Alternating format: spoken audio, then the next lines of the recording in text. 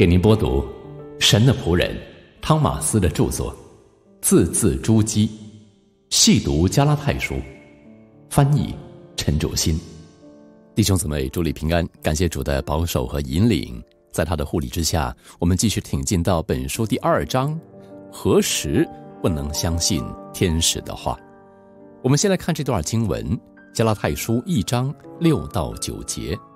我希奇你们这么快离开那借着基督之恩招你们的，去从别的福音，那并不是福音。不过有些人搅扰你们，要把基督的福音更改了。但无论是我们，是天上来的使者，若传福音给你们与我们所传给你们的不同。他就应当被咒诅。我们已经说了，现在又说：若有人传福音给你们，与你们所领受的不同，他就应当被咒诅。这就是加拉太书一章六到九节的经文。咒诅啊！保罗才刚讲完“大家好，相信你们一切安好”，就开始呼求上帝降下咒诅。我们很难想象，这些加拉太人第一次听到别人朗读这封信的时候，这心中会作何感想？当地的教会彼此相距甚远，而这封信在各教会之间轮番的传阅，直到最后一间教会时，想必已经过了好几天，或者甚至是几个星期。有可能信还没到，会众就已经听到风声了。知道保罗的信有一些非常强硬的措辞，反对保罗的人无疑会更加坚信对保罗的猜疑，而仰慕保罗的人则会非常紧张。到底发生了什么事，导致保罗要呼求咒诅降在加拉太人身上？保罗有什么权利这么做呢？那问题的症结到底在哪儿？我们先来看别的福音到底是什么。持平而论，保罗并不是要所有的加拉太人都受咒诅，他只求咒诅降在少数加拉太人身上。更精确的说，是降在传讲另外一种福音的人身上。但即使如此，他还是指控所有的加拉太人，因为他们集体离弃了他之前在他们当中所传讲的。纯正福音。那么，他们现在到底听了什么样的教导呢？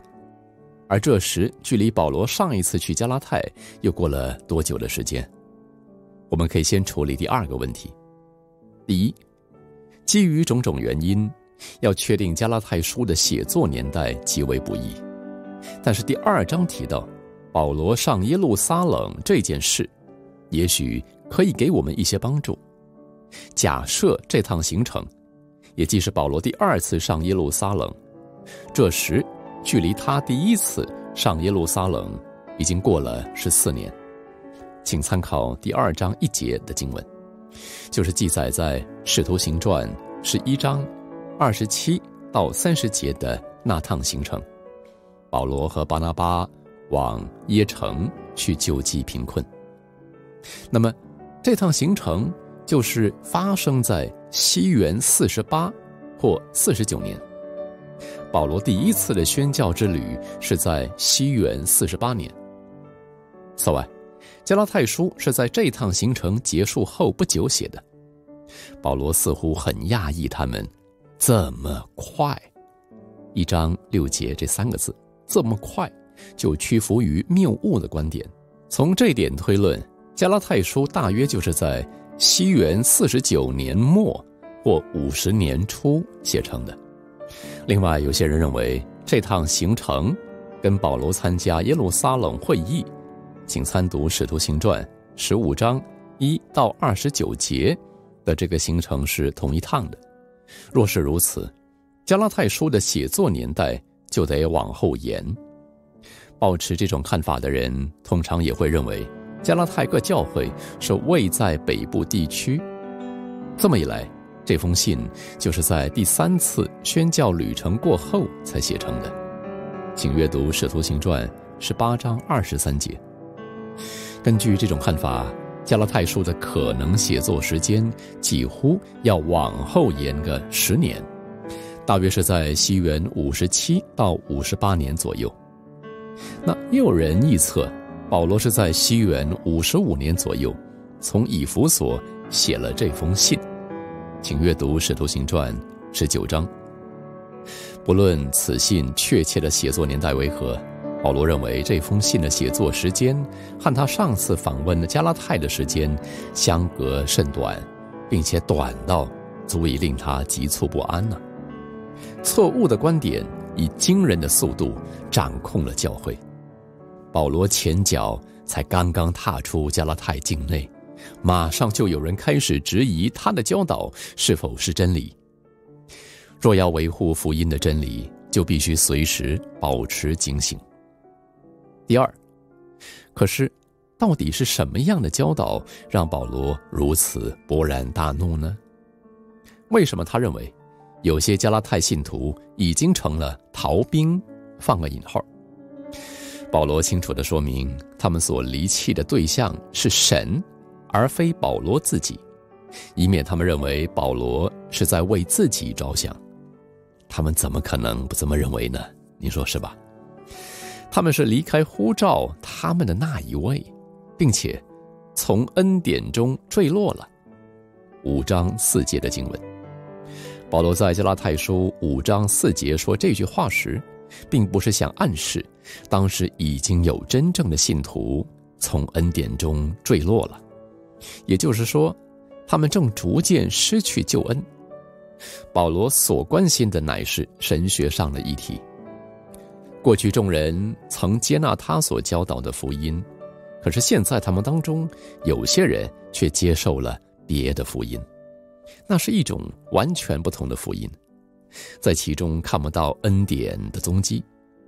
至于这些人是不是真正的信徒，则不是这里的重点。保罗想要表明的是，人们若接受这别的福音，将会受到神的咒诅。对保罗而言，这些人若接纳这别的福音，他们就没有权利要别人视他们为上帝教会的真正成员了。这事确实严重到这个地步啊！好，我们再来看恩典。基督之恩，也就是一章六节，这句话是个线索。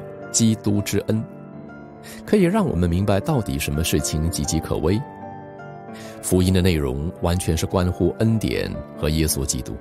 对保罗而言，福音是用以神为中心的方式来思考人的境况和神对此境况的解救之道。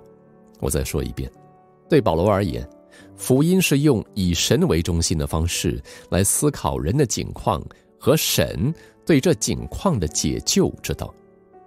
罪的本质。